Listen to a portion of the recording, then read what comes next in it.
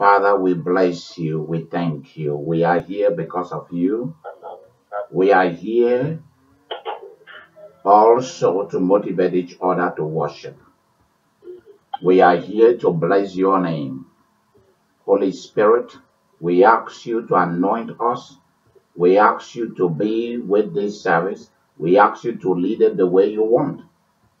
Thank you, Jesus.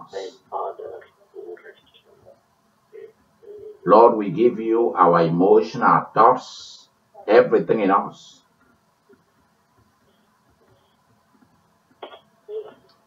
We rebuke the enemy, everything that is contrary to your will, we send them out of the door. Lord, manifest, stretch forth your hand to work miracles, to do the power things. In Jesus' mighty name we pray. Amen. Amen.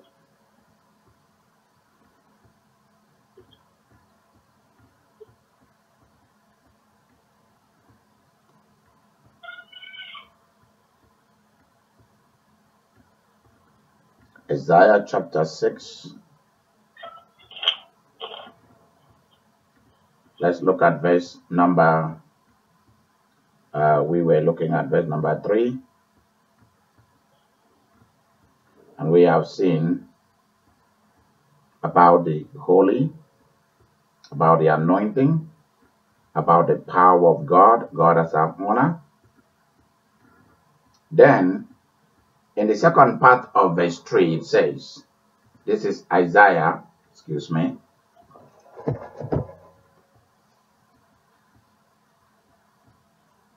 This is Isaiah chapter 6. We look at verse 3, the B part, it says, The entire earth, the whole earth, is full of his glory. Do you want the glory of the Lord to begin to manifest on earth? To manifest in your business, in your marriage, in the life of your children? Do you want to see God's heavy and weighty presence come upon your resources so that you do not need to struggle before a need arises in your life it's already met.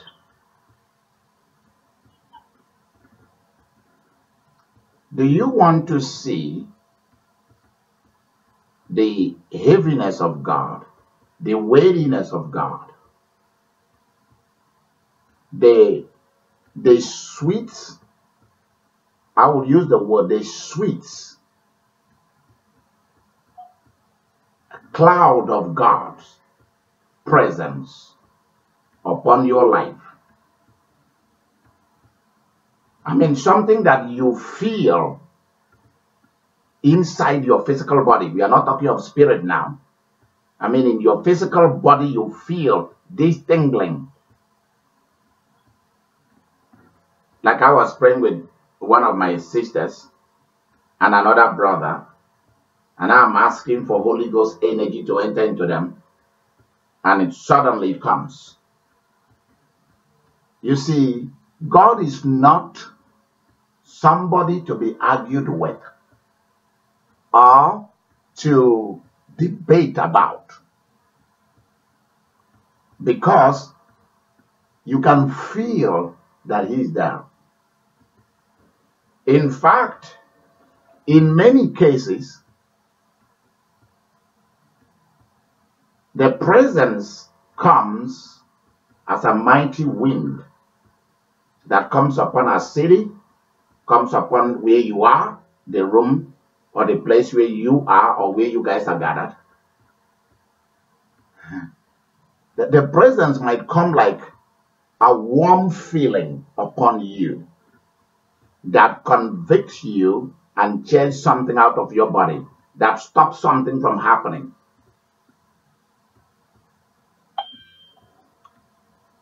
The entire earth is full of His glory. But if you want to experience, I call this the almightiness, sweetness of God. This is what we call the glorified lifestyle um, of incredible events. You see, most of you are looking for little things from God. When you begin to look for things like the glory itself, that's when both the little, the medium, and the big things just are solved.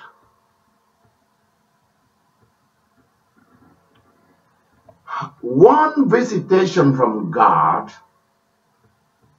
will solve all your problems. Amen.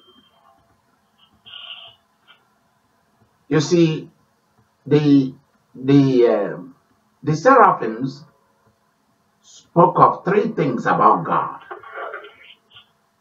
They spoke of the levels of holiness, which bet also the levels of the anointing. They also spoke about God as owner. God is not just the one who saves you, He's also the one who wanna be your owner. And then the seraphim spoke of God as the master of tremendous cloud of powerful forces, entities of greatness, hosts. He is the the the the, the, the ruler over a mighty host. So let me share three things, three revelations you need to know tonight. And we have to honor the Holy Spirit for these revelations that the seraphims have revealed to me.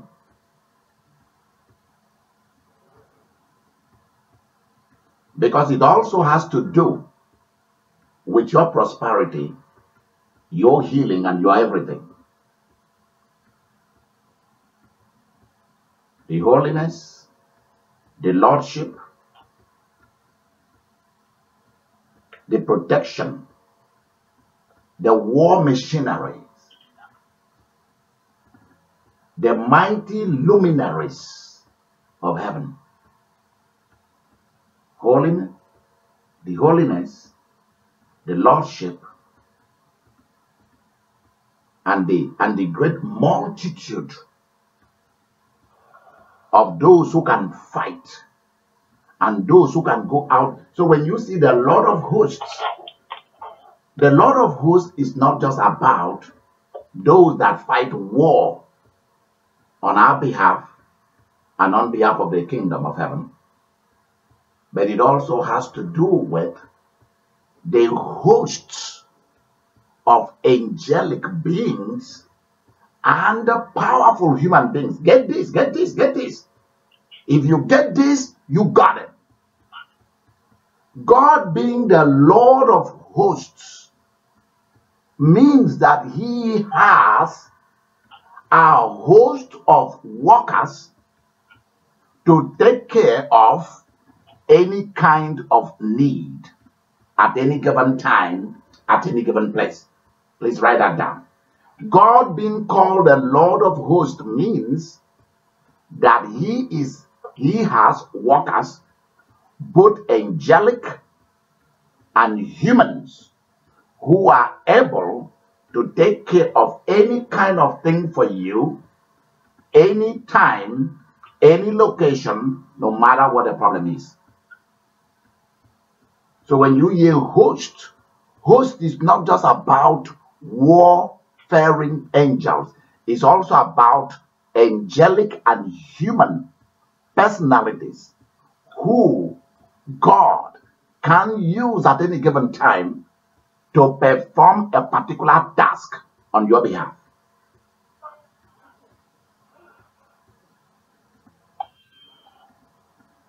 Let me also explain something else. His holiness also speaks of his ability to draw you. Deep calls to deep. If you allow God, he will rob off his trait of being holy, which means he can stop you if you're willing. And if you are willing to pay the price too, God will stop certain things from happening to you and you from doing certain things that will not please him. He can do it. So, so listen carefully. This is very, very important. It ought to speak of your ability to begin to live like him. That's what holiness means. Your ability to begin to behave like him, talk like him, act like him, and have what he has. So let me let me share this with you. You must reach a place where um who is that with a child? Who is that with a child? Could you could you mute your phone, please? I love that baby. Which baby is that, please? Which baby is that? Oh, my. Huh? Okay. All right. I'll take her out. No, no, no. You don't need to. You can mute. You can mute the phone. Who am I talking to, please? Okay. Um. See, the holiness of God also means the ability of God to draw you into His way of living life. In fact, holiness also describes the character and act of how God does His business. Please, I want you to reach a place in your life where you can have what God has. God never called you to, to unnecessary struggle and unnecessary suffering. He, that's why he put talents and gifts in you. I am asking you to go to our website, www.idikaimeriministry.com, idikaimeriministry.com, and you look at Millionaire 500. Read it, please. Read, read it. Please spend some time to read what we put out there on our website. It's going to be of much help to you so that you really know this. Holiness means your ability to accept what God has spoken about you and begin to behave that way and begin to go that route. And when you look carefully, you will realize that the Almighty God is calling you to have what He has. Prosperity is the reason for you being who you are. It's not poverty. Prosperity is the reason for you for you being who you are. That's the reason why Jesus came. It's your prosperity.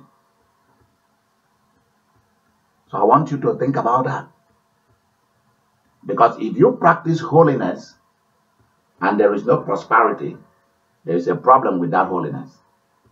And if you have prosperity without effectively being obedient to God, that is yielding to the Holy Ghost, then there will also be a problem.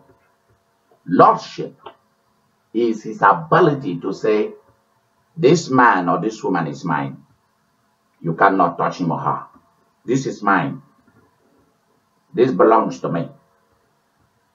Get your hand off this person. That's the meaning of it.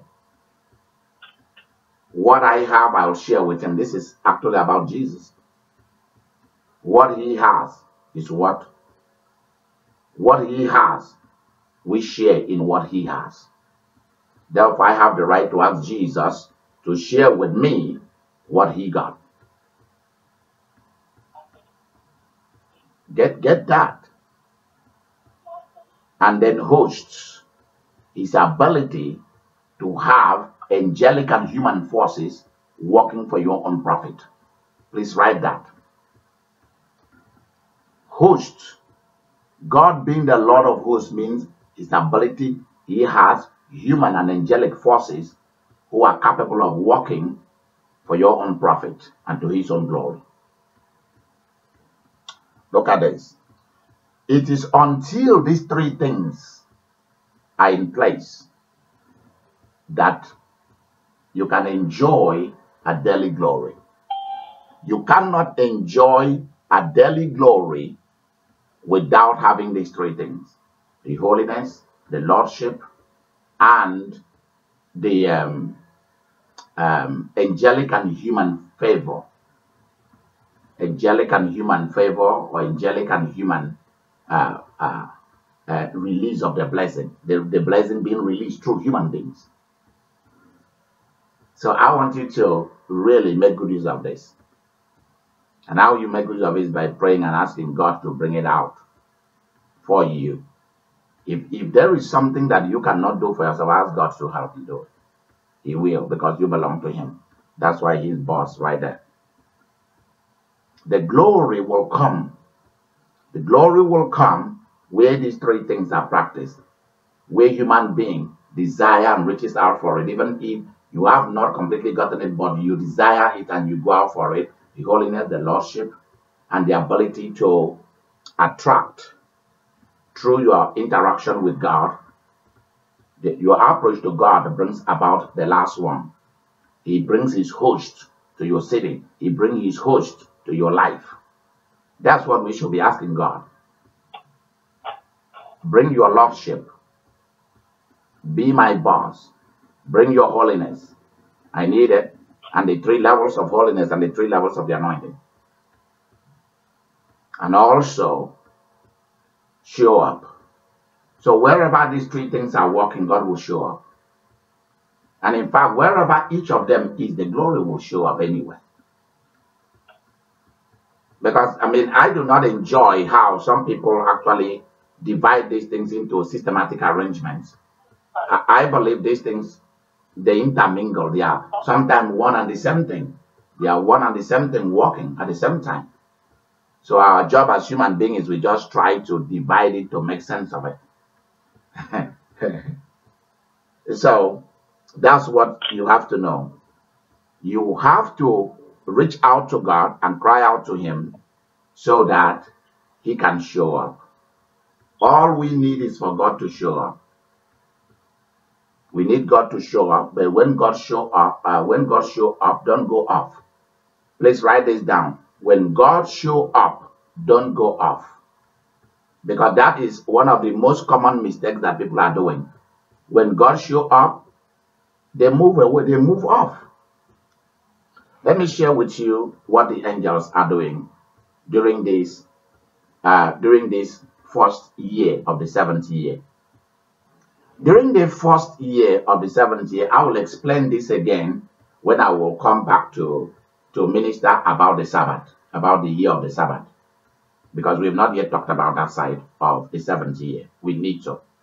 So, Jeannie, uh, remind me, please. Remind me, remind me, remind me about that. Uh, if you're on the line tonight, um, this is what I want to share with um, with each of you. Um, I mean, if you are not Gigi, you also take line. Wonderful, Gigi. Please, please, please, beloved, uh, take take note of that remind me to teach on the Sabbath. I'm not talking of this the on I'm not talking about Saturday. I'm talking about the first year of the seven year cycle. It's called the Great Sabbath. So I, I need to I need to I need to minister along this way, along that line also.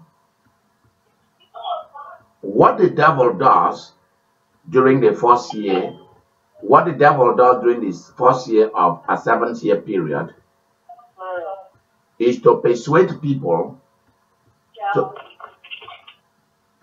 is to persuade people to go back to their former ways of life. That's number one. Number two, he create fear in the hearts of people that they cannot reach, um, they cannot reach their goals, so that they go back to a pattern. After January, people begin to go back to how they were in December. That's what the devil does. People of God, the Holy Ghost is here. The Holy Spirit is here. Thank you, Holy Spirit. Lift up your hand and bless him. The Holy Spirit is here. Bless him. Thank you, Holy Spirit. You are here. Thank you, Holy Spirit. You are here. Thank you, Holy Spirit. You are here. Thank you. Thank you. You are here. You showed up. Thank you for showing up tonight. Thank you. Thank you, angels, for showing up tonight. Thank you, Lord. Thank you, Lord, in Jesus' name. Amen. Thank you, thank you, Lord. Tremendous, thank you. Hallelujah. Hallelujah. Hallelujah.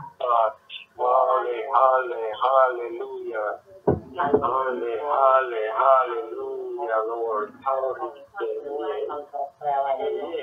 Thank you, Jesus. Thank you, Holy Spirit, for showing up tonight. Amen. Amen. See, we have to be sensitive when the Holy Ghost shows up. You have to be really sensitive. I'm very sensitive about that. I'm very sensitive about when angels show up. I'm very sensitive about when the Holy Spirit uh, shows up. Let me tell you something. I have a budget for this year. In fact, I am also going to re represent it again to the throne. The, the thing is, they must do what I requested. You might think that that is an insult to heaven. But people of God, let me tell you, I am dealing with, I am having relationship with the one who owns everything. Why should I not ask for something huge? And let me tell you, I'm working for him. You are working for him. You are living for him. So why should he not orchestrate events on earth to favor you? Why should he not? Why, why should he not send his host out? Your job tonight is to pray and ask the Lord Almighty to send out his hosts, human and angelic, to bring you the job that we've been praying for, to bring you to the new body path that you've been looking for, to to to to to put an end to certain to certain thing going on in your life. Behavior patterns. The Holy Spirit will convict you of things that you should let go, things like that. Let's face it. Ask God to send out His host to minister to your different needs. There are things that I want to change where I live. In fact, some few nights ago, I, I began to hear that things are gonna be really changed for me. It's gonna be a different lifestyle in about a month or two for me. Very, very different. It's not gonna be boring. No, no, no. No, no, no, no, no. That's why I'm trying to do the things when you know if God said to you, go ahead and do this and finish it, finish it, so that He can move you into a different level. So begin to ask God to send you hosts, human and angelic, to begin to to to to provide for you, to begin to go out to bring it supernaturally. Now, one of the things that the devil is doing, he started doing it since 2018. Since 2018, Satan began to do this. Let me tell you, Satan prepares for years to come. He does not just prepare for one year, but years to come. So he's been preparing for the year of the Sabbath already. I'm not giving him no credit. I'm just letting you know how these things work. So this is what I'm going to tell you. One of the strong things the enemy does, knowing that during the new seven year cycle is a year of preparation, is, is a year that you begin to invest. He wanna stop your he wanna stop your job. He wanna stop your career. He wanna stop your benefits. He wanna stop your relationships. He wanna stop your marriage. He wanna stop your business. He wanna stop your, your money. And your job is to stop him. Your job is to stop the Satan from stopping you. Please write that down. Your job is to stop Satan from stopping you. And when you stop him, he stops and he walks away. When I will talk more about the Sabbath, I will, I will release some of these secrets and mysteries to you so that you know. I'm going to put it in different ways for you to know. And also, there will be tiredness. The first year of the Sabbath, there will be great, great, very big reluctance, very big desire to stagnate, very big desire to to to be tired. You you constantly feel tiredness. But you are going to find things. The way to defeat some, some of those things is to find ways, find things that motivates you so that you can move forward. Now let me let's pass that very, very quickly. Let's look at verse number four. And the posts of the door moved at the voice of him that cried, and the house was filled with smoke. When angels, when the seraphims speaks, when they extol God and worship God, the foundations of the earth are shaken. The foundations of the church, where, wherever God has an investment, it will shake. Not only that, wherever the enemies gathered will be shaken. So we need seraphim to speak again into our lives. We need the seraphim to speak again into our lives, to shake, to speak into our life about the holiness, the lordship, the ownership, and the almightiness of God, God's ability to provide, to protect, to promote. That's the meaning of hosts.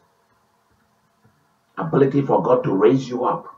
Let them shout about His glory, about His holiness, about His lordship into your life. You need, let, let the voice of the seraphims penetrate into the earth, into where you are. And everything that believe that it cannot be shaken will be shaken. And when when they speak, when they shout, when they extol the person of the Lord, holy, holy, holy is the Lord God of hosts. Okay? Heaven and heaven is full of his glory. They are in a sentence revealing the completeness of God. Please write this down. Write this down for me. Isaiah chapter 6, verse 3 is the seraphims revealing the completeness of the person of God. And they are also revealing our completeness in God. Please write that down. They are revealing the completeness of God and our completeness in God. In fact, in this sentence, you are not supposed to lack anything. You are not supposed to be sick. Because when you begin to extol and to speak of how great God is, how holy God is, how mighty God is, how powerful God is, how rich God is. This one sentence in verse 3 speak of his completeness. The completeness of God is what we are dealing with here. Seraphims are revealing the completeness of God and our completeness in God. But let me also share this with you. We also rely on the on the on the um, on the works. Let me put it that way, in a, in a very simple way. We rely on what the seraphims and the cherubims what they do for us to, to, to enjoy God better. Let me repeat it again. We rely on the works and activities of the seraphims in order to enjoy God better, to know Him better, and enjoy Him better. Please, some of you who, um, who except you find something in the Bible, you don't want to go along. There is a place where the Bible says that as many as are led by the Spirit, they are the they are the they are the children of God, and so on. Also speaks of as many as have received Jesus, He gave them power to become the children of God, John 1 12, etc. Revelation does not just come by the Holy Ghost. Now, listen to me. For those of you who are Bible oriented and centered, listen to me. I am Bible oriented and centered. I believe the 66th book of the Bible completely. That is without fault. There's no fallacy in it. It's complete. If you follow the teaching of this book, if you follow his devotion, his constitution, you'll do well. You, you'll be you'll be you'll be a billionaire because you'll go to work. So listen listen to what I'm listen to what I'm telling you. Listen to this. Listen to this very carefully.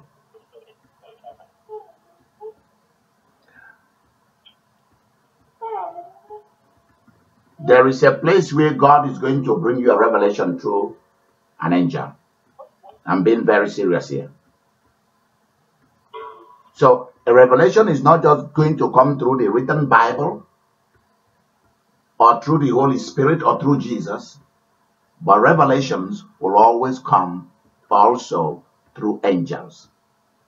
The book of Revelation was Jesus dictating through an angel to John. Moses was given the Ten Commandments. Moses was given the Ten Commandments through an angel. So angels always mediate some of these things. So we need to begin to accept the works of the seraphims, their act and their works and their words. We need to. We need to begin to accept the works of the cherubims also. But here we are talking, we are we are ministering along the, the, the way of the seraphims. Whenever the seraphims show up and they begin to worship, worship is the work of the seraphim. Not that all angels and all entities and all people in heaven they worship God. But the seraphims are for this kind of activities. They speak of the completeness of God. They sing of the completeness of God. They, they make poetry of it. Day in, day out, they chant His completeness. The secret of God is your ability to chant. I use the word chant as to speak out, to to enjoy, to to to to qualify him, to define him, to define his completeness. Look at what they do and do the same thing. What did they say about God? Say the same thing. And when they say it, see what happens. And when you begin to speak of God the way they speak, what happened? He says, look at this verse 4. And the and the, the posts of the door, uh, the post of the door moved at the voice of him that cried, and the house was filled with smoke. So when they speak, power shows up. When real angels speaks, when they speak of the completeness of God, His power, His ability, what happened? His holiness, everything that has to do with the completeness of God, where you are will shake. Now, let me share something that happened today. I was sitting by in my little office here and I was typing things out. Something just whispered to me and said there is gonna be an earthquake. There's gonna be an earthquake. And in a second, the entire building was shaken. This morning. See, God always is ahead of it, always preparing me.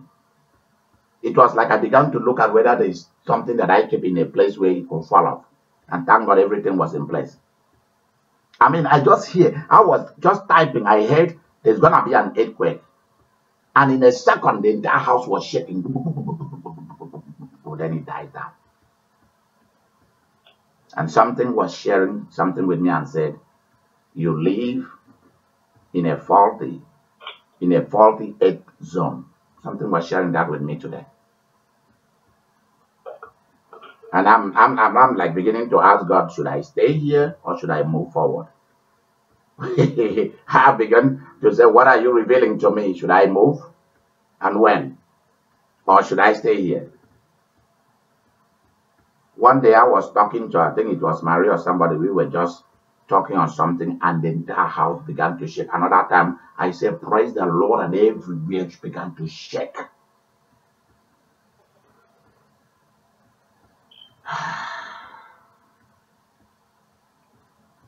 Let me tell you what this reveals. Because today I just want to finish with the seraphims today. Because tomorrow we have debt cancellation, tomorrow and Saturday. We have services of debt cancellation on um, Friday, that's tomorrow, and on Saturday. 6 and 7, I think so. We do. So listen carefully. When you begin to speak of God, sing of God, worship Him completely without keeping nothing back. Don't worry about your weaknesses. Take it to Him and let Him deal with it. But what I want you to know is this. Listen to this. What I want you to know is this. When you begin to speak of God's completeness, it's going to shake the foundation of the earth. Many of you complain about your problem. I mean, with me, you can complain, but outside me and God, don't. Don't with other human beings. Your job is not to complain about your problems. Your job is to get rid of it. Don't give energy to whatever has happened in your life. Don't give energy to it. Avoid giving energy to any problem. Instead, speak of what is going to happen to the problem. If you have a bank account and there is no money in it, tonight you are going to speak to that bank account that is going to be filled. If there is something that you've been trying to do and uh, there is something in you that is trying to stop you, you're going to speak to that thing and say, Get out of my way if I crush you. I carry with me Holy Ghost fire. I'm going to crush you. Until you speak to a problem what you are going to do to it, it will not leave you. And then when you speak to it about what you're going to do to it, then you begin to speak of the completeness of God, not talk to God about the problem. You now begin to speak, you, you problem, I bring the holiness of God. Father, I bless you. Lord, you are holy. You begin to talk to God about His holiness. You begin to talk to God. You see, the angels were not talking about how tired they are doing the same job day in, day out. They learn what they are doing, they enjoy it. So, so listen to this. When you begin to speak of the completeness of God, there is going to be a shaking. Even people who didn't want to do what they should do for you, God will remove them. Because when once you put a smile on God's face, God gonna go crazily in love with you. I'm serious. He's gonna fight for you without you even trying to talk about the problem. That's how this thing goes. Your problem will be shaken and it will not be able to stand the glory that will be revealed. When you begin to speak of how, stop sometime. I, I wish that sometimes you can just stop worrying about your problem and begin to worry about God. If you will begin to worry about God, your problem will be solved. I'm serious. Begin to worry about God and see how your problem will be solved. Begin to speak of how great He is. Stop talking about the problems you are having. Start talking about Him, who He is, how He is, His completeness, His holiness, His power, His protection, His ability to bring the right people, angels, to come and work for you. That's what you should be talking about.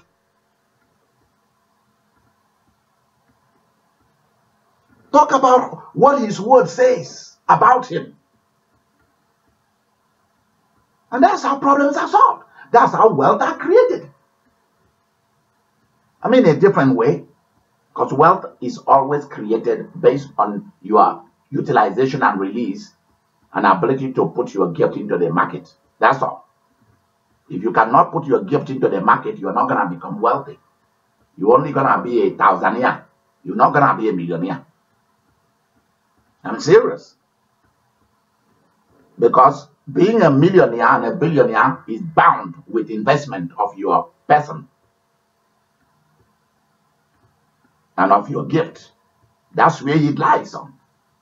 So if you are not going to invest your money or yourself into something meaningful, you're not gonna be a millionaire.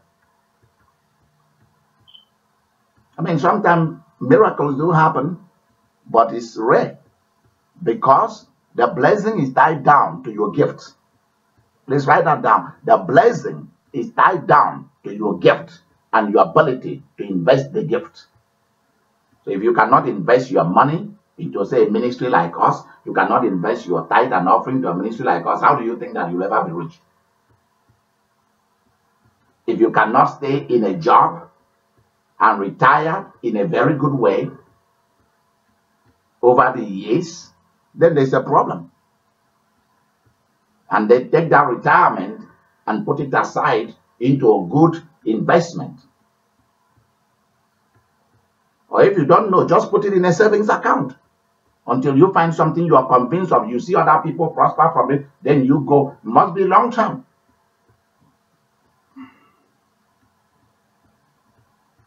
God wants the voice of the angel to be heard again in your city, in your family, in your life, in your sleep. It's not the voice of demon that we should be seeing in your dreams. We must hear the voice of the angels in your dream. The voice of the seraphim need to be heard in the churches. It need to be heard in the ministries. And your voice is gonna be heard. Because what the seraphims are doing here is showing you how they move God. How they make the glory come to the earth. You make the glory come to the earth. Please write that down. You make the glory come to the earth by extolling the completeness of God. Extolling the completeness of God brings the glory down. And when one such a glory comes down, your problem doesn't bring the glory down. That's the problem. Please write that down. Your problem does not bring the glory down. That's the problem. Your worries doesn't bring the glory down. That's the worry. Your headache does not bring the glory down. That's the headache. Your crying does not bring the glory down. It doesn't. It all goes back to faith in one way or the other.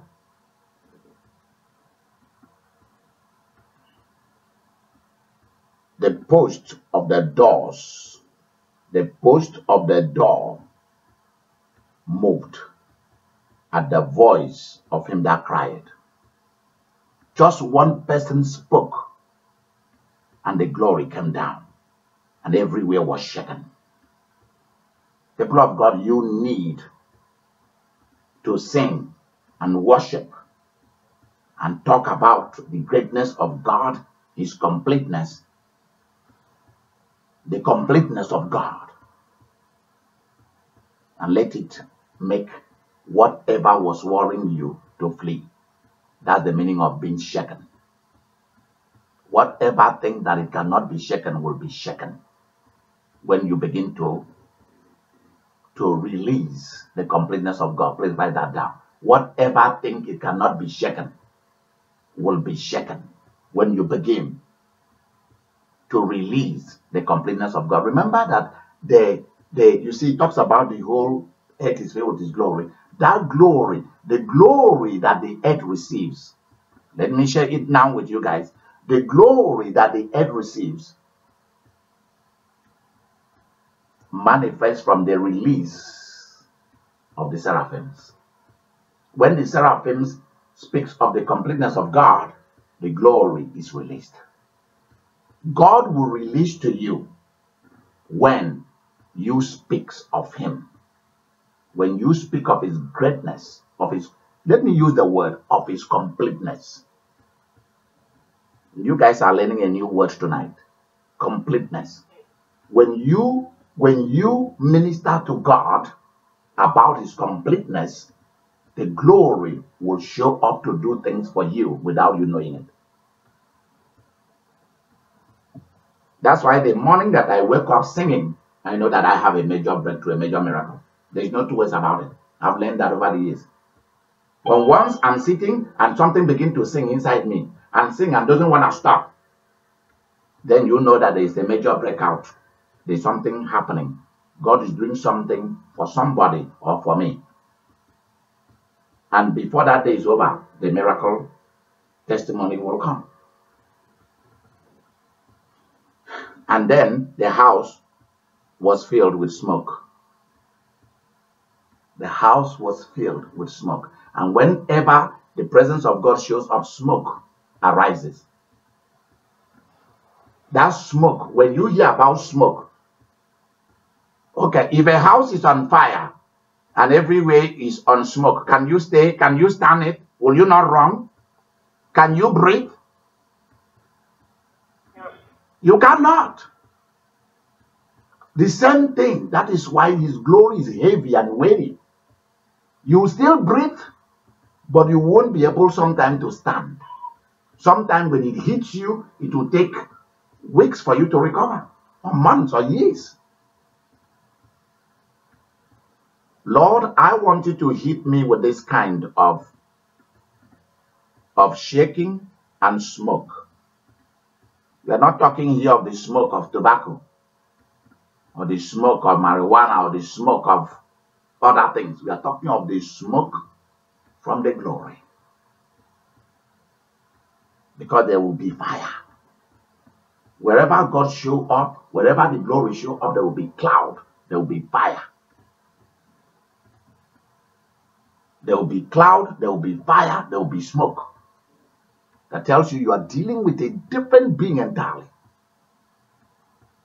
Please, I want you to begin to seek this kind of this kind of thing. This is what you should be looking for because this is what solves the problem. It's not what we are thinking of. This is what really solves the problem. It's a common thing. And when the smoke comes, you cannot minister. There are ministers who want to continue to talk. Even when God show up, instead of them shutting up and get away and let God do his business, they still want to show up. They still want to talk. What are you going to talk? When God show up, give up. Please write that down. When God shows up, give up. Don't try to talk. Don't try to tell them anything. Don't try to show the people that you carry his power and his glory. It's not needed at that time because you don't have none. Your gift is not needed.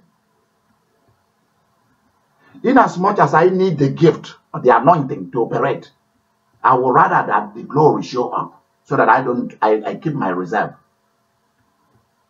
You guys are getting what I'm saying? When God show up, you you reserve your gift, you keep your gift. You don't need your gift when God shows up. Because he is doing the thing for himself. And that's where I have problem with many pastors. When God show up, you don't need to start touching people. People are automatically gonna start to fall by themselves.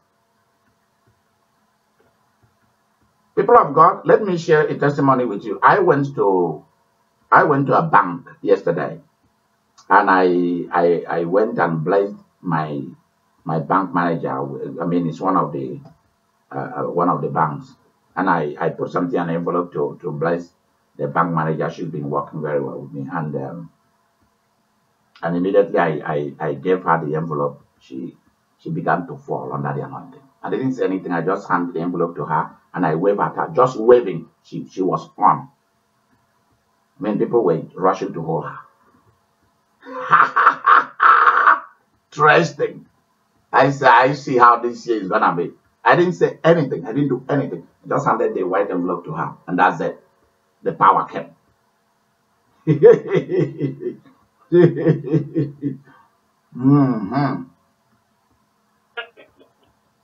I mean, the power just came. She was falling.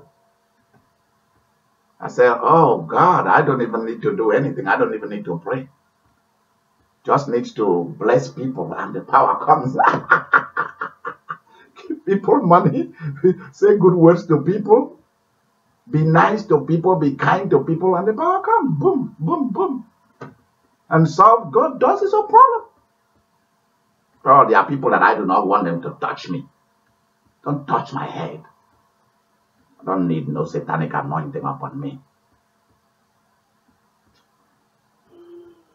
I want while I'm ministering, let God go and touch people. So that people do not say that I carry I carry some strange powers. Let the thing work. Let let God work for himself. That's the real thing. That's what the seraphims are revealing. That when you when you speak of the the, the, the completeness of God, the power shows up and begin to work for himself. At that point, your anointing is not needed. Put your anointing in your pocket. We don't need it. Let God do his business for himself. You cannot do God's business the way it should be done. Let God do it.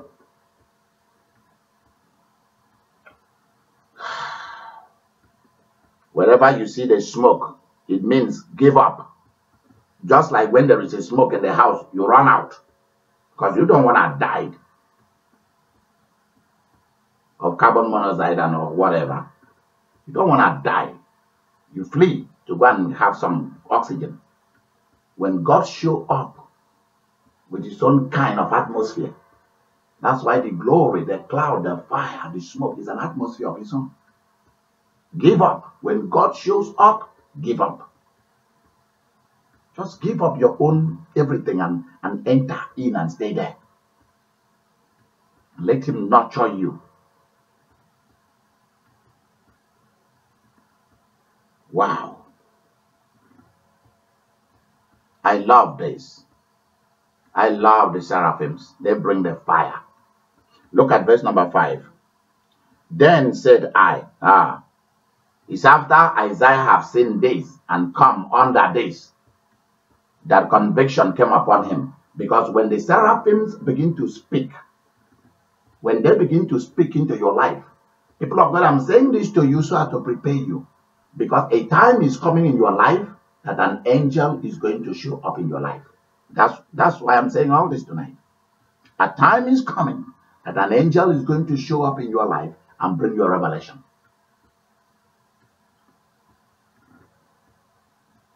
If you are willing to do things God's way, your angel will always talk to you. My angel always talk to me when it's necessary, not all the time. And when he talks to me, the entire place is heavy. I mean, I have I have had my angels spoke to me from say, uh, is it ten o'clock in the night till like seven in the morning. It looked like it was just like five seconds. I didn't know that it was already. I mean, the a whole time was was zapped or or zipped like a zip file. And I thought it was just something of an hour. Let me go to bed then and sleep. And I look at the clock. It's past seven in the in the morning. A time is coming in your life that these beings are going to show up. They're going to show up. The time is coming that the glory, if you can do what they are doing, if you can if you can speak of God's completeness like they do, time is coming that you're gonna be connected with them. They will be connected with you. And the cloud will show up, a shaking will happen. So that you don't need to talk about what the devil is doing against you. Because you will be the the power of God that shows up will be dealing with the devil and not you dealing with him. And of course, the devil will tell all his host to, for the for the sake of their life, if they want to live, then let them not go near you.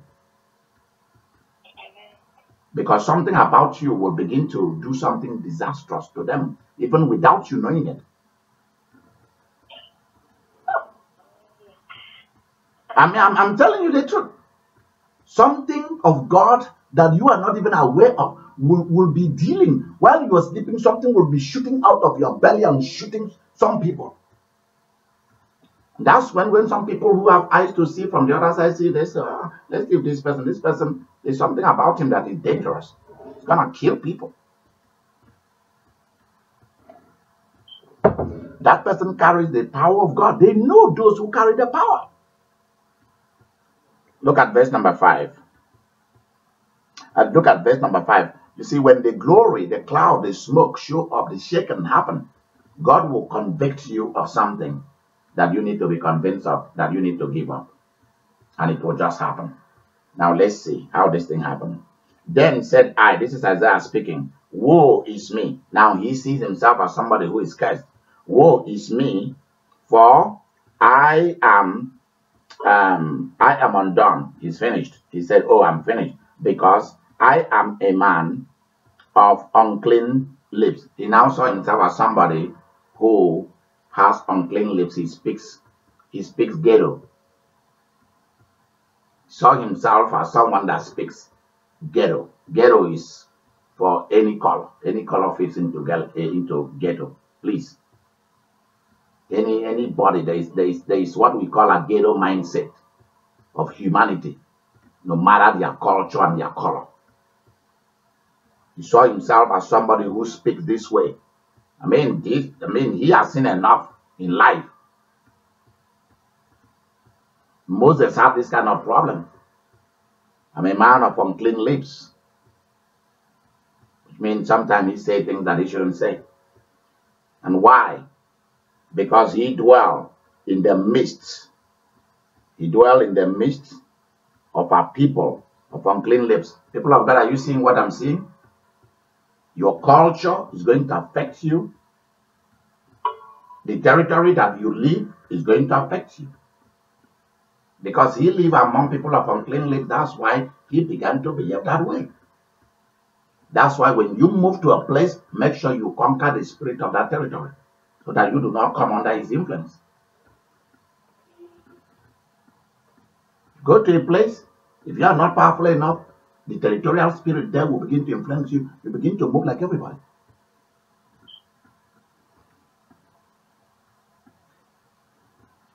Look at this. For mine eyes have seen the King, the Lord of hosts. See how Isaiah described him? I've seen he's a king and he's the Lord of hosts. See, he's now speaking like the seraphims. The seraphims now are affecting him. He's no longer being affected by his culture and by where he lives, by his by territorial spirit around him. He has now begun to speak like the seraphims. My eyes have seen the king. He's now convinced of what his problem was, why God couldn't use him in his fullness, or why there were still things that God has to deal with in his life.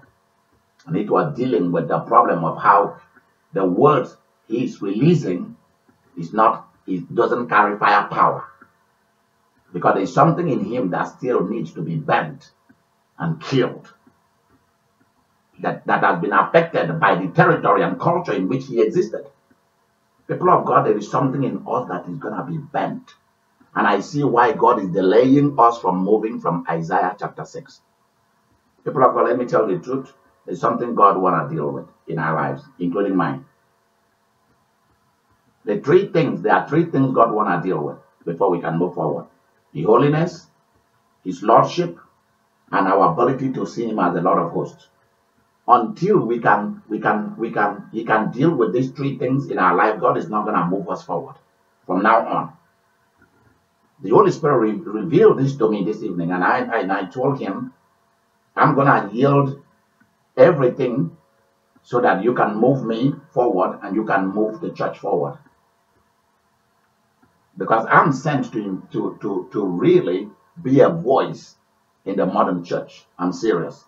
I'm sent to be a strong voice and a strong actor in the world of today. I am. I know it.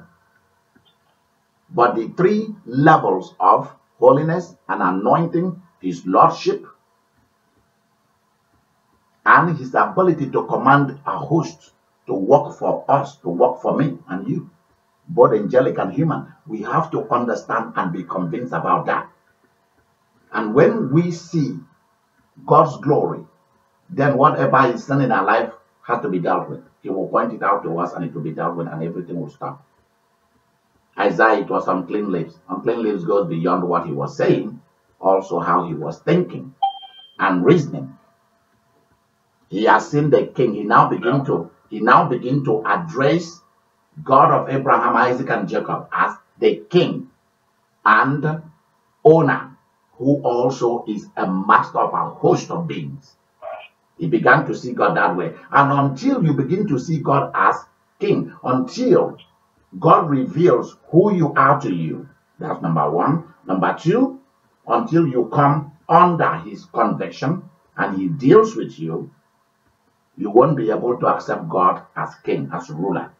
You'll still be trying to rule yourself. Others will still be trying to rule you. Devil will still be trying to rule you. You have to accept him as the Lord of hosts and as a king. He did not say leader. No. You must see God as king. And you must see him as Lord of hosts. If you cannot see God in these two aspects, you are going nowhere. You'll be stagnant for a long time. King means he has everything that you need. He governs, he rules, he guides, and all of that.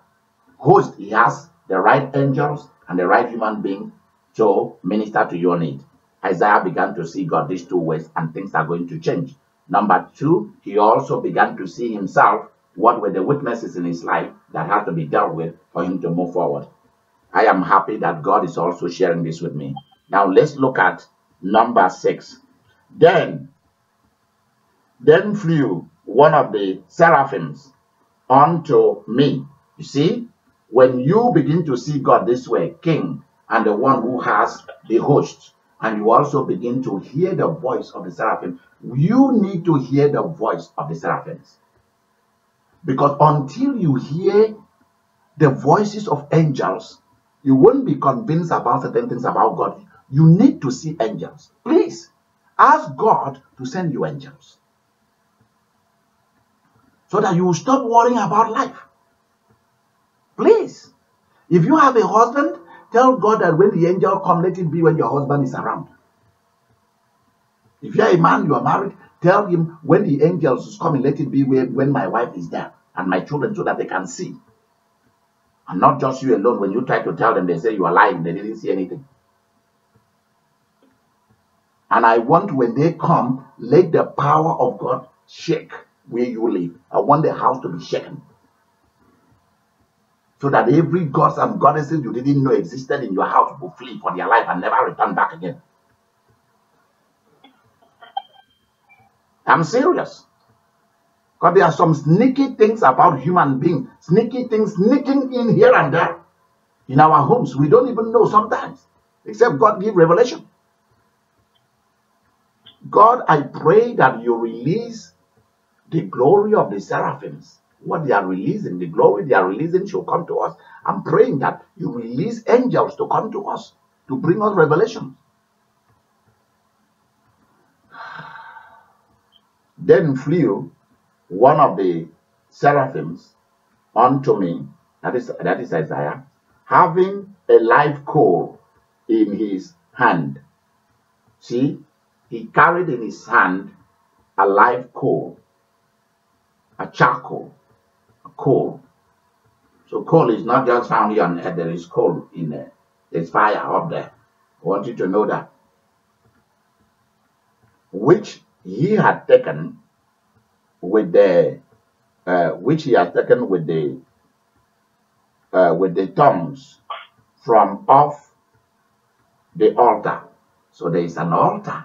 Listen to this. There is an altar.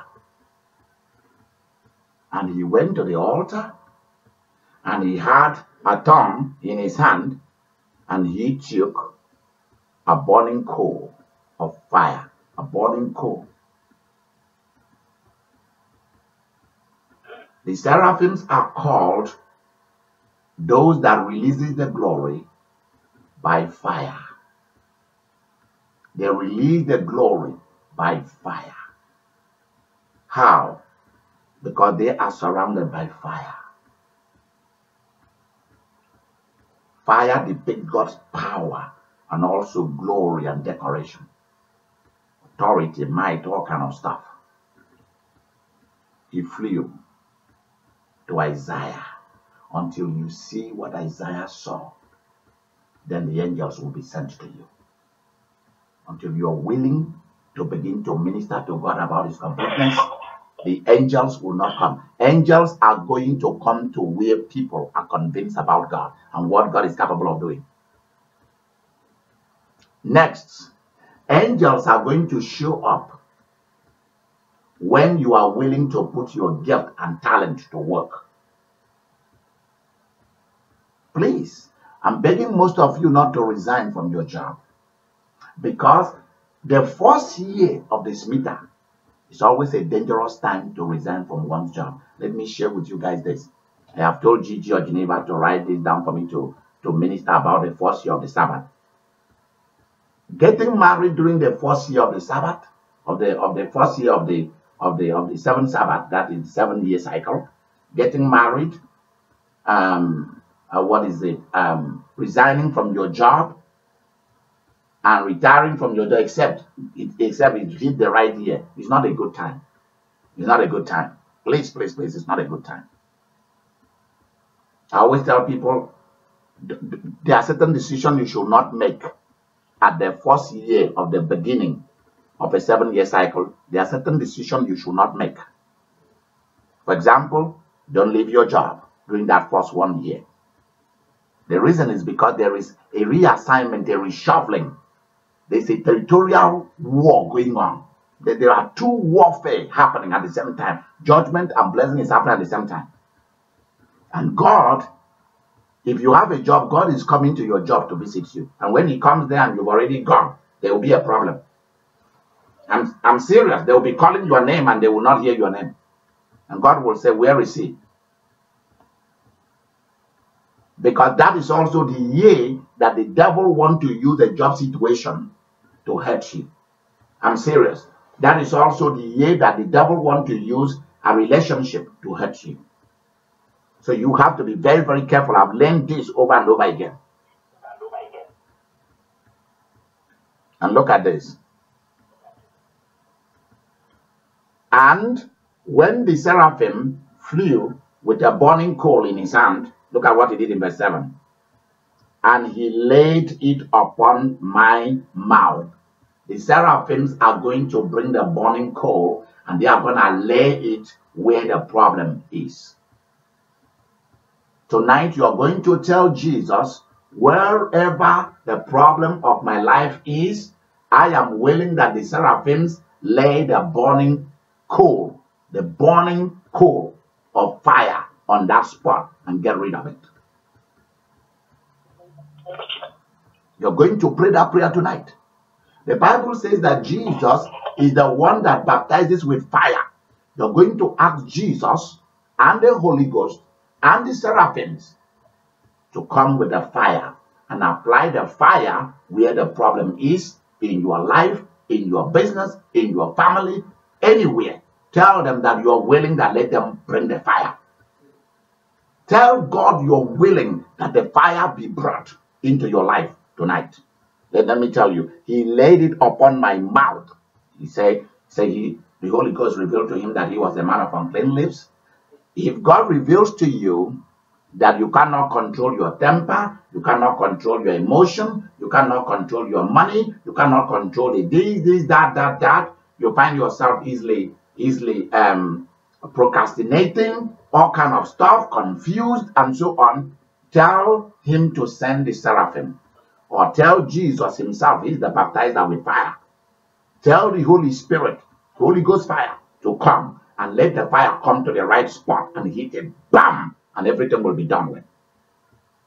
He laid it on my mouth and said, Lo, this hath touched thy lips, and thine iniquity is taken, thine iniquity is taken away, and thy sin purged. Okay, what's the difference between iniquity and sin? Okay, what Isaiah was dealing with here was territorial, territorial iniquity that has attracted demonic principalities or fallen angelic principalities is what he was dealing with. He was also dealing with Baal. Baal is the is the chief spirit of iniquity. Please listen. Sin is what you make happen or happens to you. But iniquity is what is forced upon you, upon a whole territory, upon a whole culture. That is iniquity. That's why it is passed, it is iniquity that is passed as sin from generation to generation, and the chief architect of iniquity that control cultures is Baal. Listen carefully. Listen carefully. So Isaiah, in spite of the fact that he was a prophet of God, was still dealing with some generational, territorial, cultural, national iniquity. For example, rebelliousness is a major iniquity. Isaiah was still dealing with these issues. So if Isaiah was dealing with it, who are you? You need the seraphim to lay the fire on where the problem is. Let them lay it on where the problem is. If not, you'll be struggling with the same old mess in every seven years. This is a seven years that God is giving us an opportunity for the fire to be laid on us and for the problem to be removed once and for all. And I am willing, Jesus, I am willing tonight that you lay the fire on me and get rid of whatever the problem is. Whatever. You see, iniquity is something that you've tried to stop. So many of you are confused about it. So let me explain tonight the difference between iniquity and sin. You see, a sin that is persistent in your family, a problem that is persistent in your family.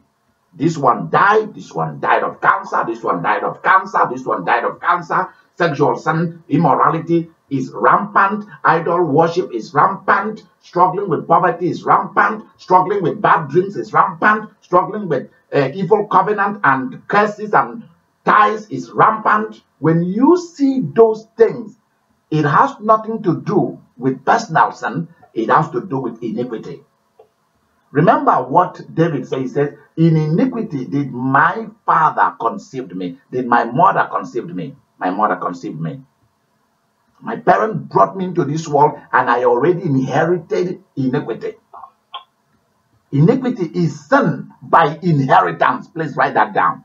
Iniquity is sin by inheritance. Those are things that are forced upon us to do things against our will. These are powerful stuff I'm talking to you about. That's what many of you are dealing with. You think you're dealing with your own personal weakness. No, you are dealing with an inherited sin. Father delayed to do things, mother delayed to do things, delayed to build a house, delayed to marry, delayed to have children, delayed to go to school, delayed to do this, unwilling to do this. Those are those are things that are forced upon you so that you are unwilling. Even when you will have been willing to do something, there is a force in the atmosphere. There is a force from the water. There is a force from the second heaven that is saying, No, you must go the way of the family. You must go the way of, of uh, the culture. That's why, that's why even if a child of a Muslim family, listen carefully, was born in Canada, America, or, or, or Netherlands, Holland, Switzerland, Denmark, Norway, Sweden, Italy, they are of, of, of Islamic heritage. It's running in the system. That's why when they hear of a jihad, they are willing to leave the West to go and fight. Why? The iniquity things is running and will excite them. It will be awakened. When you beat the right drum, what is in you will be awakened. Please write that down. When the right drum is sounded, what is inherited in you will rise up. It will show up. That's why you see the young people are going to fight. Because the thing is there until the iniquity thing is broken, they will not stop going. They will not stop going.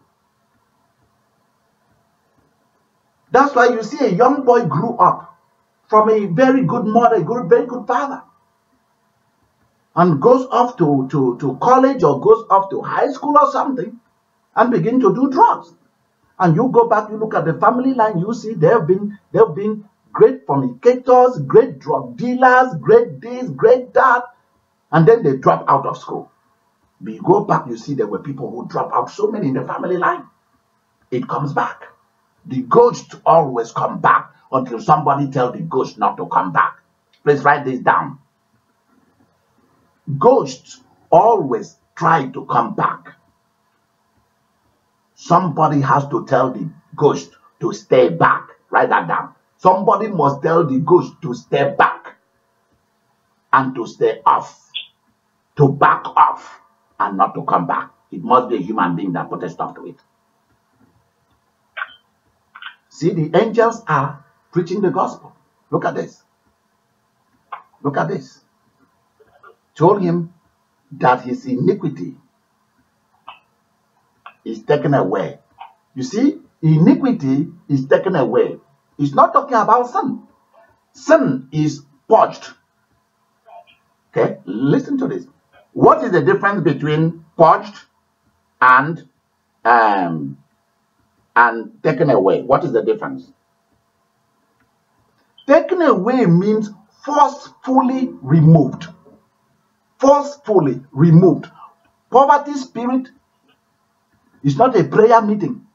It must be for- forcefully removed. So iniquity sin are not something you pray out of. It's something that is forcefully removed. It's a war thing.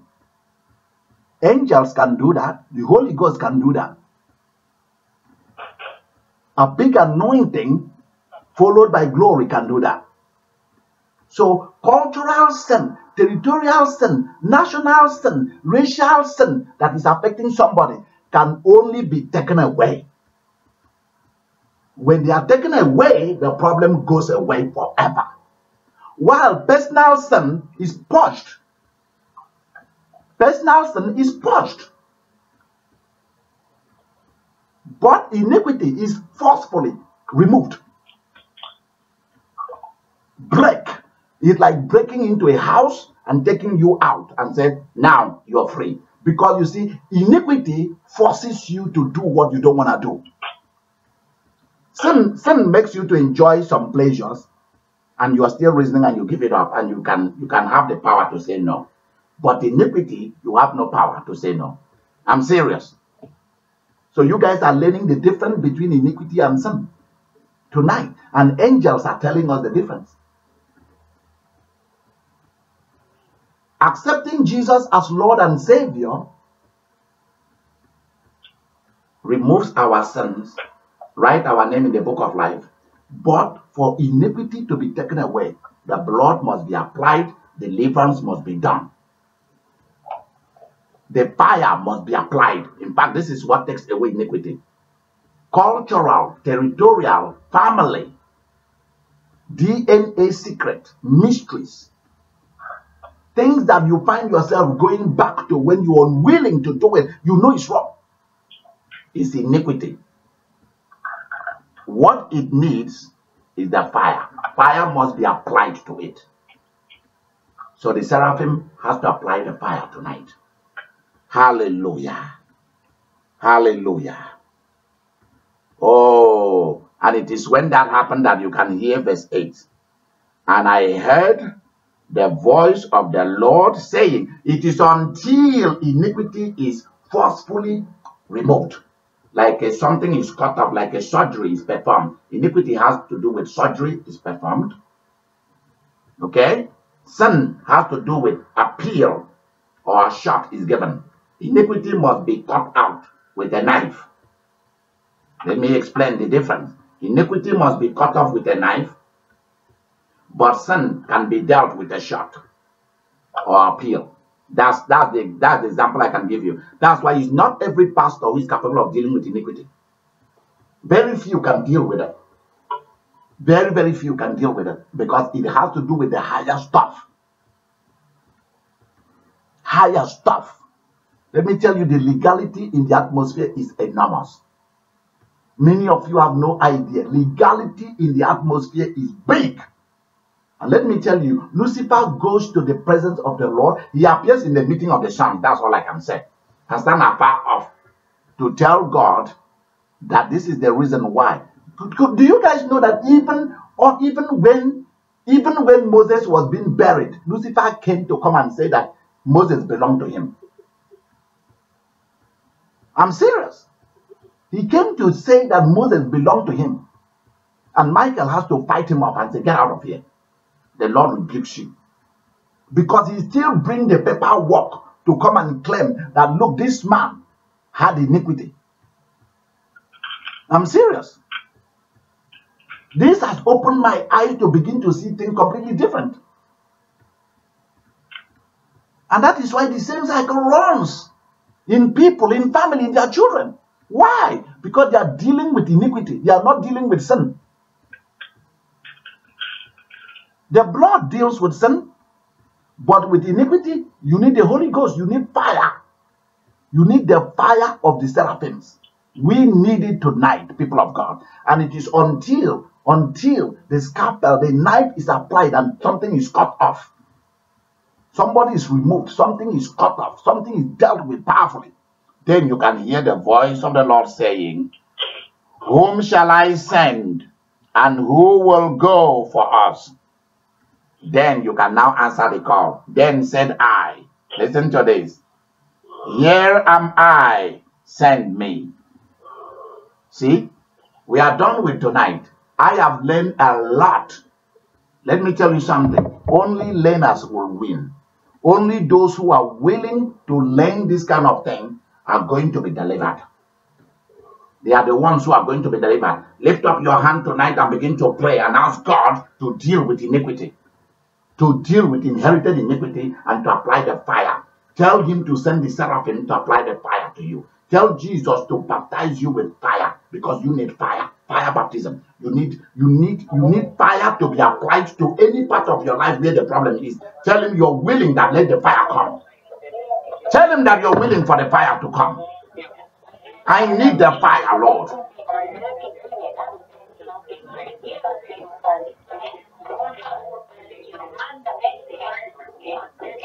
ante el Padre, de la.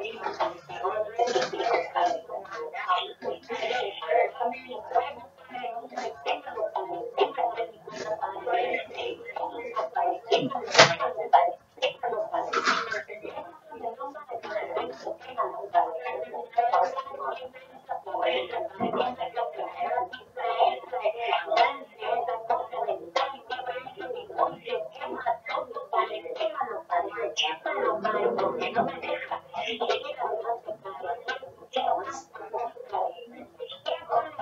you.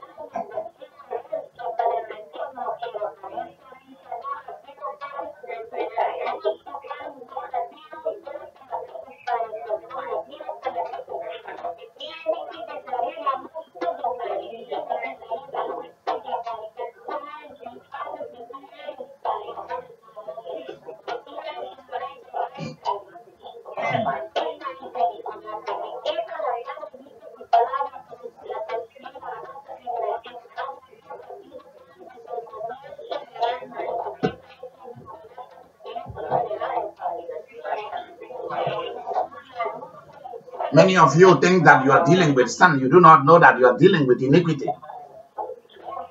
Father, deliver me from iniquity. Deliver me from all forms of iniquity. Deliver me from all forms of iniquity. Excuse me. Deliver your people from all forms of iniquity, O God, tonight. Shake yombo, shake yombo. Shake, shake, shake, shake, shake, shake. With the voice of the seraphims, shake. Whatever has been holding me down, shake whatever has been holding your people down, shake whatever is holding this person watching down, shake, shake, shake, shake, shake.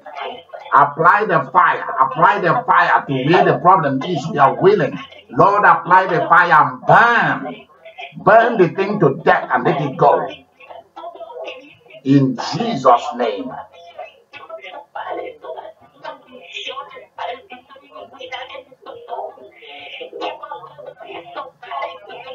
Amém.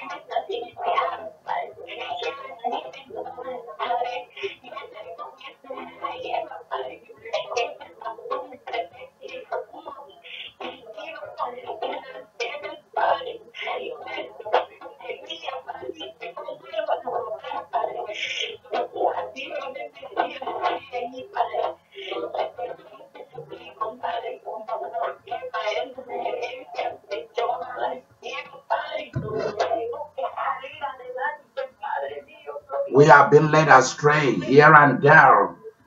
And the real issue is iniquity, inherited sin, covenanted sin, tied up sin, territorial sin, cultural sin, national sin.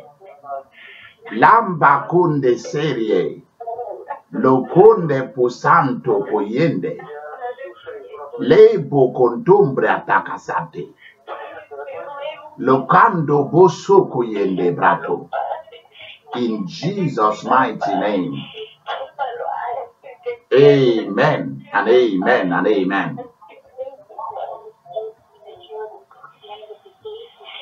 Amen. I'm gonna have a separate video, a short video that I will be doing, separate video that I will be producing on the anointing, the anointing, the anointing oil, on the difference between iniquity and sin. Please, the person who is keeping the record tonight, please write those things down. I have to do videos on the anointing, on the anointing oil, on holy fire. On holy fire, we need it. On the difference between iniquity and sin, so that people know what they are dealing with. We are not just dealing with the problem of sin, we are dealing with the problem of iniquity. And iniquity is something that has to be cut off with a knife, surgery, because it has deep root, come from the inside comes from the inside and is shooting out all over us.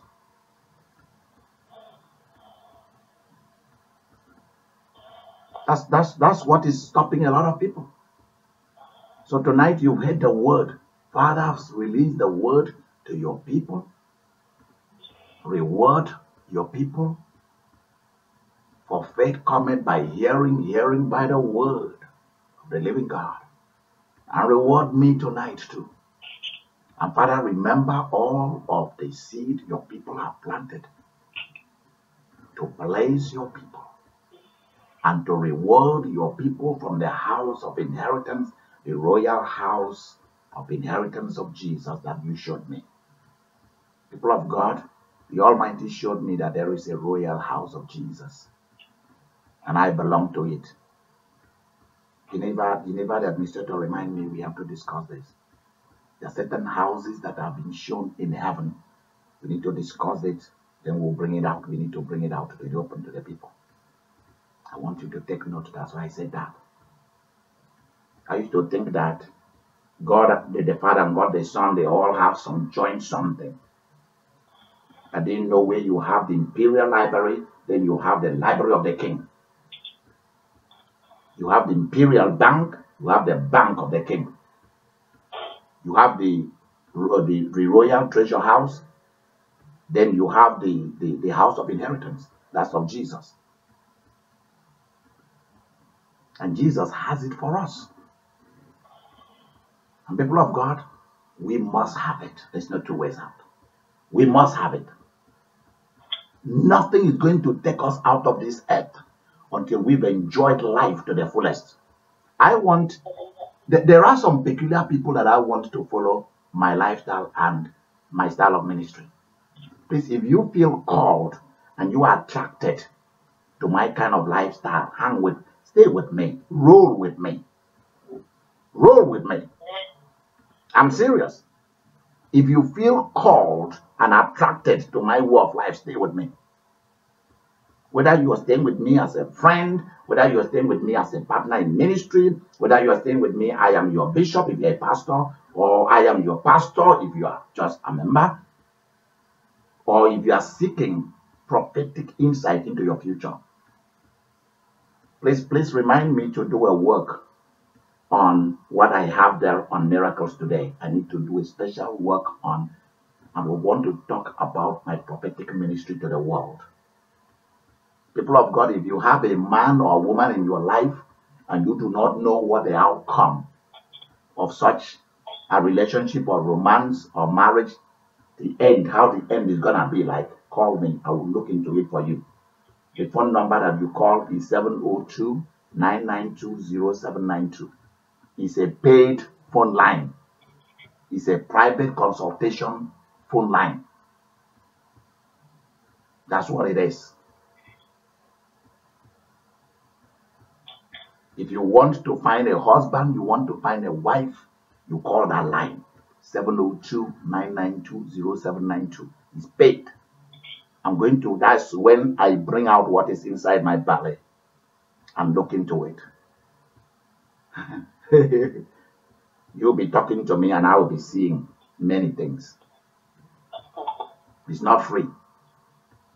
That, that's you're calling me as a prophet. That phone is my office as a prophet. God said that I should design a phone line just for the prophetic ministry. That's what that phone line is for. You can call the office line 316 665 4400 or 316 243 2967. That's when I minister to general need. But if you need private consultation, you want me to look into, uh, you want a husband, you want a wife, you want children, you want money, you want me, you want God through me to make you rich. You want protection from accident from wicked people. You want to know your future. That's the number you call. It's a paid thing, it's not free. And whatever I tell you, you take it very seriously. It's not astrology. This is the Holy Ghost at work. I'm, I'm, I'm just his vehicle. He calls me his handyman. I'm his handyman. I'm his waiter. He cooks the food. He gives me to serve the people. He pours the wine. He gives me to serve. That's what I am. That's why most of what I do today, I went back to look at my old videos and listen to uh, the old MP3 that I started listening to. That I couldn't believe that was me. I was shocked when I was looking at myself. I said, "Really, boy, what's going on with you, man? You've changed." I was just telling myself, "You've changed." And uh, some some of you were complaining that I do not pray the way I used to pray before. I shout, I come with power shaking. It's because I moved from a house to an apartment so that I, I live near the kind of area that is healthy for, for my physical body. The kind of area that I love to live do not have single home for me to, to live as of the time I moved in here. But I found this place. So I cannot be doing that and disturb the neighbors here. I mean, every one of them knows that I'm a prophet here. They respect me, they protect the integrity of this place. They know me, all of them. And they give me very high honor in this place. Especially the owners of this place, they take care of this place for me. Even when I'm not around and something breaks down, they open, they come in, they fix things. They tell the guy who are fixing, make sure you take care of the things of the pastor. I'm serious. I didn't even know that they knew I was a pastor. It was when I traveled that Bill came in here to come and fix something. I wasn't in. I came back, Bill said, So so you are a pastor? I said, Yes. He said, Ah, I now understand why I told uh, I told you and so person not to give you that bottle of whiskey. I said, Bring it on. yeah. You are trying to deny me some good stuff? He started laughing and we, we started just just a joke. They know. They can sniff you out before you know that they know you. They know you. Yeah, they do. They know you. I mean, even the geese, even the geese and the ducks by the by the bridge across the street. Since it is too it is too cold and I'm busy working, so I cannot I have not had time to go out there and feed them. I open the, the I open the door here and get out by the balcony and I see them downstairs waiting for me. The geese are downstairs, they are waiting. And what has happened because I'm not going there? How did they know that I live here? And now they are camping by the tree down there. The geese are camping right here. They are no longer staying in the water. Because they waited, they didn't see me, so they now they're able to sniff me out. In fact, there is one geese that is so huge. I don't, I don't believe that that geese can fly. It's huge. And I saw it walking towards me like, hey, dude, where have you been? Bring the food. We are waiting down there for you. And I got and I got their, their I got their food and went downstairs and feed them. They've not they've not left this place for the past one week. They are here. They are downstairs. They are all camping out here. Same way the guy Mary is, that's the safest place. We don't want to go somewhere where somebody will, will go and end up being food in somebody's cooking pot. We are not going. They are smart. If geese are hanging down here, they are camping down here, then you should be hanging with me. you should be rolling with me. so why you don't see me make too much noise and all that prayers? I will pray throughout the night and shake the dark places because I now live in a place like that that is really well structured. Along the way, I'm going to ask people to begin to contribute for housing, for the ministry. And then you can now see, and also when I come to your city to come and minister, that will be different. That will be very different. That's going to be different. It's the same power, but I have to control things. I have to allow my neighbors to sleep. And so on. That's why sometimes I take a walk and I'm praying while I'm walking. Yeah. There was once I was taking a walk, so I was just uh, I was just speaking to myself and just you can see my mouth move. You know, you never know whether somebody is talking on their cell phone or not. And uh, I reached somewhere and I felt the Spirit of God asked me to prophesy over that city. So I removed my cell phone. I removed my cell phone from where it is in the distance and and I turn it and I, I, I, I behave like I'm turning it on. Then I put it near my ear and I began to speak. Hello, I speak, I prophesy over this place. So those who are passing by think that I'm talking on the phone. They didn't know that I'm prophesying over the over the place. Interesting, yep. I like most the one that I will put. Uh, Geneva taught me how to do that one. Now there's something I will stick to it and put it over, and you will not. You will think I'm talking to somebody and I'm talking to Jesus. Hello, Jesus. How are you? Hey, see some small small thing. You don't want people to begin to think that uh, you're crazy and you're going nuts, and they call the, the the emergency something and say somebody's nuts walking through the street. So you you have to control certain things. Yeah. People of God, please make good use of what we have on our website. Please try and go to my website, www.idikaimeriministry.com. Also, when you go to YouTube to watch the videos, please try and leave some comments. And also, when you go to Idika Imeri Ministry Facebook, I have two Facebook. One was when I didn't really know much about Facebook, I needed to talk to my mom and my little brother. So I have the Mary. And so when the ministry started um, uh, in its fullness, I just have to leave it. So people started contacting me there. Then later, Idika Imeri uh, Ministry Facebook now came up. Please go to Idika Imeri Ministry and, and say you like us, something like that. Say you like us. Go to Twitter and say you like us and all those places where we are, Pinterest and all of that. Because sometimes people see and say, oh, why is it that I'm not telling my partners to go there and uh, put in something? Go to Google Plus and uh, and put in some good words. Let people know. And also, if you received a miracle, if God has visited you through our ministry, send me an email or write me a letter so that I won't put your name or your city. I want to put it on our testify. By tomorrow morning, there will be a column that will appear on the website that says testify. I want to begin to put in the miracle that has happened. There are so many miracles. I want to begin to to to, to catalog them on testify. Please send me if you have received miracles of money. I've told you things that the, the Holy Spirit spoke through me and they happen, things like that, or you, you went to the video and prayed over them and you received miracles, please send me testimonies so that I can archive them on the website and so on. Thank you very much. And remember this whatever a human being cannot do for you, God is willing to do it for you. and God is willing to send angels and humans to do it for you. Remember that tomorrow, Friday, and Saturday, we are going to have an explosive service. An explosive service, what I'm going to be ministering has already been given to me. So please come. We are doing the cancellation of debts. I pray tonight that I will have the uh, the the grace and the opportunity to put a little video there about tomorrow's service, about debt cancellation. God is interested in canceling your debt.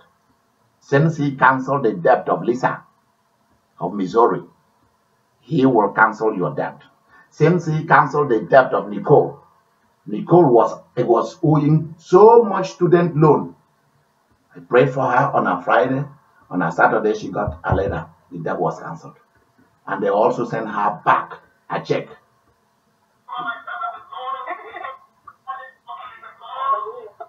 So, so since God did that for somebody, believe me, God will be able, and God is able to cancel the debt you owe on your house, on a car, on something, whatever it is.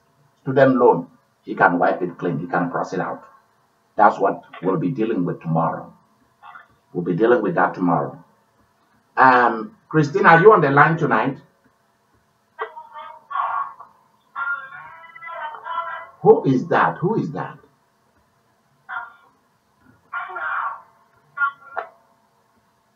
Okay, let's continue. Christine, are you on the line tonight? Wanted to make some announcement concerning what she's doing, but it doesn't sound like she's there. So let's leave it alone. Also, I want you guys please to pray for the administrator of the ministry. Please pray that God give her strength. I, I was looking at what she has been doing, and I know it could really wear somebody. It's a lot of work. It could really wear someone down. Please pray for God to fill her with power so that she could keep this thing going. She's the only one who is really doing something big with me. Also, remember to pray for Beverly for her shoulder to be healed quickly. Remember to pray for Lisa for her job and for her to win her lawsuits. Remember to pray for the grandbaby of girl. Remember to pray. Remember to pray for Dorothy, for her to be healed, and for her family to be completely saved. Remember to pray for the financial situations of each and every one of you. Please, I will be telling you people to pray for as we meet on a daily basis. And remember, every Wednesday, I will have a healing service on Wednesday afternoon. I am, am yet to, to complete that task with, uh, with the administrator to know when that is to take place. Wednesdays mainly, I want to return it back while I'm, I'm while I'm ministering to people. People should bring their sick ones online or on the phone so that they be ministered to, and so on. So we, we want to make sure that the two things that show that the kingdom is here, healing and casting out of demons, take place, especially on Wednesdays. Please remember tomorrow and next tomorrow. Also remember to go to our website and please do contribute to our fundraising. Remember that um, I think it will be by tomorrow morning that we will post. We finish doing that. We'll post on our website about our partnership. Please, people need to begin to sponsor a missionary, sponsor a young girl, sponsor a child, sponsor pastors. We are on on those things. And so when you go to the donation button uh, on our website, um, when, when you make a donation, when you go to our partnership, you will see the various things you can donate to. And so when you go to a donation button and you donate, leave us a message on we on the box called the, there is a message box. Leave us and say this is for this, and we will make sure it just goes for that. There are churches that need to be built out there, and uh, we are involved with these people, with uh, with with this kind of ministries right now. Also, we need something for our radio and television programs. So I'm going to put all of that there. If you want to become a member of Millionaire 500, we'll put it all out there for you. Please thank you and God be with you. I'll see you tomorrow. Good night.